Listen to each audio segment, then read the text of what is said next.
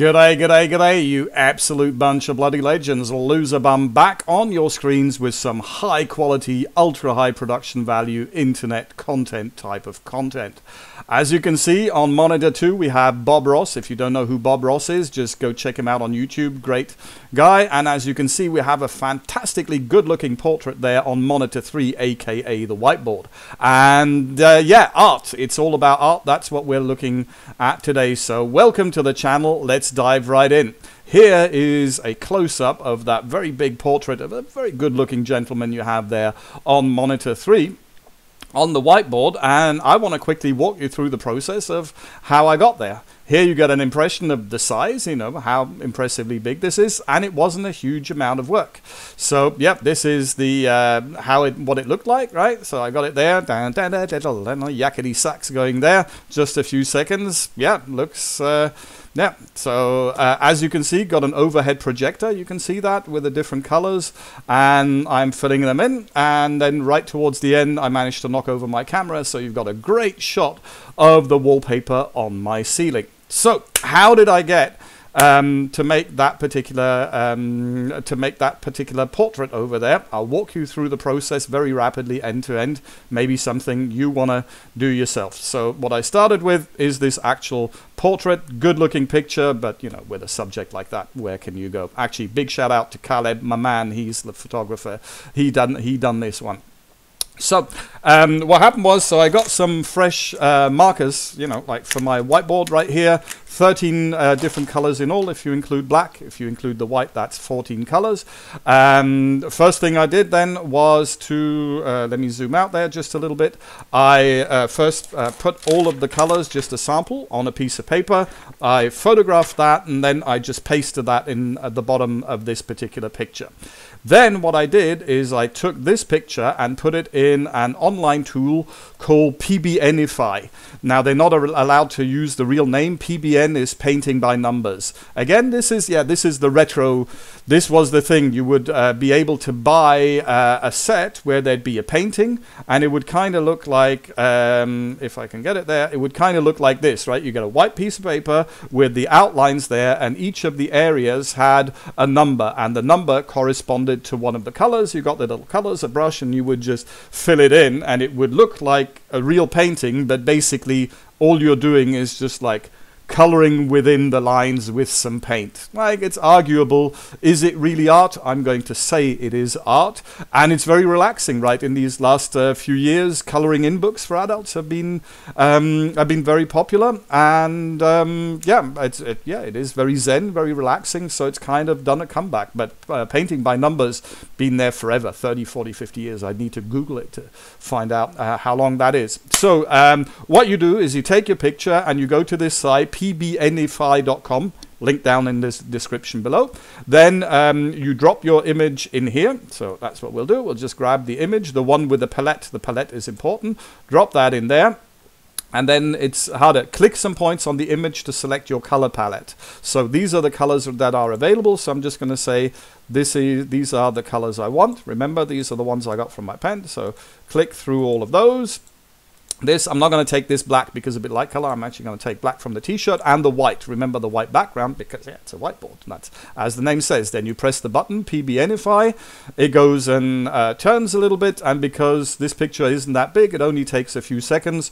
In terms of privacy, apparently this entire process is actually um, running in your browser. Supposedly it's not being uh, uploaded to anywhere. So give that a couple of seconds to finish. And if not, we can always switch over to the pictures. Yep, it's done done, and this is what it's done. You notice it's only taken like one, two, three, four-ish of my colors uh, because like the blue it just didn't find a play that place that matched the blue and the entire background is uh, is black. So that's uh, that's how that works. Um, then exactly this is the filled in. You can save that. Uh, then if you click on outline you exactly get that painting by numbers kind of color. And if you don't want to do it on the whiteboard stop here. Take this print it out on a nice thick piece of paper. Get your own paints which could be whiteboards or crayons or whatever. Make your own and start coloring out and making some art Now, what happens next to get it on to that whiteboard? Here's the little trick. So um, what I did, so I've got this outline view, um, and then what I did is I went into GIMP. Uh, if you don't know, graphics uh, editor, it's like a free open source Photoshop. Um, it's not as beautiful as Photoshop, but hey, it's free and it's open source. Million tutorials out there. Over the years, I've used it a bit. I'm no expert, but I know how to use it. So all you do, the trick is very simple. Up here in select, you have an option select by color. So I just said, all right, select me all of the black. And if I hit delete now, he's going to delete all the black. But I want exactly the opposite. So control Z to undo. So I've selected all the black. And now I could either go to select invert, right? That's going to be the invert of the selection. So he's going to select everything else but black. Or I can just see, as you can see here, invert is also control I. So from the from scratch again, you select the color, control I, delete. Ta-da! I now have a picture which has only the black colors. You hit uh, File, uh, export because um, you don't want to save it in the native XCF format. You just want to export it as a, a, JPEG, and you can do that with Shift Control E. Because I had to circle through all the colors, I literally went select the color, Control I to invert, delete, and then Shift Control E to export and just saved it as the black color. Then you hit Control Z to get back to our picture. Uh, click select uh, select all if you want just to go out. Then take the next color. You know, have the dark brown. Control I to invert, delete, ta-da, now I have bright. Control Shift E, export to the brown, etc, etc. And that gave me this, and I'm using this program. This is Irfan View, great image view viewer. You should use it. Has a lot of functions, super, super duper fast. It's like 10 times as fast as, as Microsoft Image Viewer, which gets with Windows. I've been using it for years. Easy to copy, paste, uh, trim, things like that. Really useful. And then I can just scroll. So I've got in this folder all of the pictures with the different colors. So with uh, the left button and the right button, I can just scroll through them. So yeah, that's how I deconstructed that picture into those different colors. And what happened next? What happens next is I took an overhead projector, projected that onto the monitor, um, if you don't, I happen to have an overhead projector lying around because, yeah, it's LuzrBum Laboratories. If you don't have one, find somebody who's working in an office and ask them if they can borrow one. Trust me, at the moment, nobody is using the overhead projector which is in the office because of um, Christmas. Yeah, it's because of Christmas. So borrow one, set it up at the right height, focus it, and then connect it to your computer, set up this folder. That's what I did. I have my little folder here where I have all of my different colored pictures right? Open Irfan view, and then with the left and right, you just can scroll um, through the colors.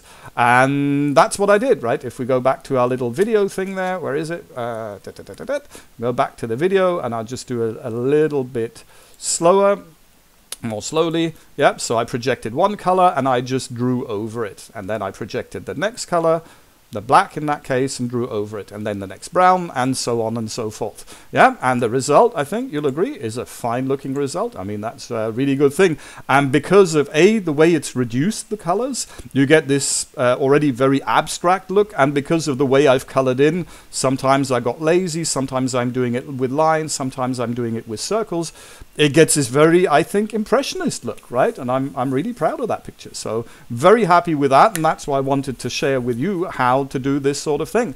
So yeah, PBNify, bit of GIMP, bit of Irfan View. In my case, I even had a cool little Bluetooth foot pedal which does left and right arrow. It's used for music, uh, but you can just press, you know, press left and right on your keyboard, and that's how you can go and make your own picture. So if you do that, let me know down in the comments. I'll be featuring you last time uh, in one of the next videos. I'd love to see what you're doing.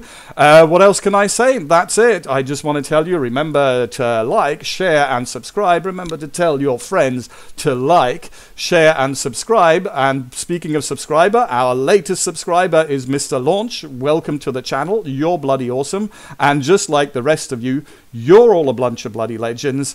I'm LuzrBum, you're awesome, and I am out of here.